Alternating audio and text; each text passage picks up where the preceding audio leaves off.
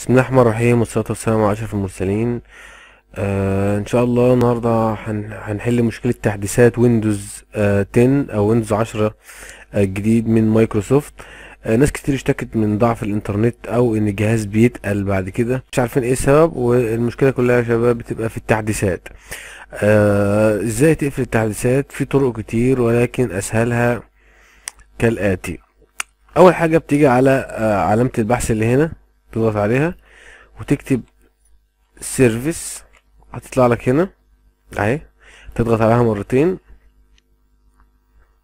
وهتنزل آه، هتدور على Windows Update Windows Update أهي. هتضغط عليها مرتين. وهنا الخيار بيبقى اوتوماتيك أو manual أنت بتختار disable زي الاختيار ده كده. وبعدين بتعمل apply وبعدين OK وبتقفل ده خالص وكده الجهاز مش هيعمل آه تحديثات تلقائية من نفسه.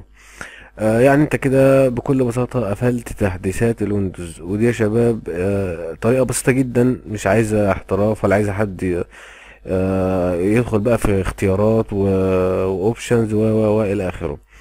يا رب يكون الدرس بتاع النهارده ممكن يفيد أي حد. لو حاسس إن الدرس ممكن يفيد أي حد أو حد بيسأل عليه اشترك في القناة آه، واعمل share للحلقة على اليوتيوب أو على الفيسبوك أو على أي حاجة أعمل حاجة. المهم تعمل share وخلاص. يا السلام عليكم ورحمة الله وبركاته.